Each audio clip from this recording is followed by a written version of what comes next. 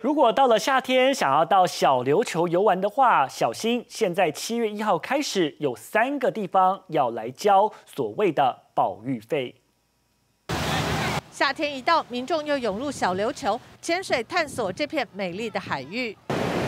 这得来不易的自然生态和海底生物，近几年因为每年超过百万的登岛游客，富裕速度缓慢，环境也受到负面冲击。因此，屏东县政府公告，从七月一号开始，包括山福、鱼城尾、杜仔坪等三处潮间带，收取每名游客六十元海洋保育费。会关专款专用于地方的生态调查以及民间团体的保育计划审查等等。三个潮间带被列为保育示范区，限制同时间三百人进入，而且只能行走在规划的旅海步道。每年的十二月一号到隔年的三月三十一号，全面禁止进入，都是为了让海洋生态能够休养生息。我觉得很合理啊，因为每个人都呃，就是有付钱的话，就会有人帮我们维护这个环境，这样帮海洋啊，或者是沙滩做一些清洁的费用。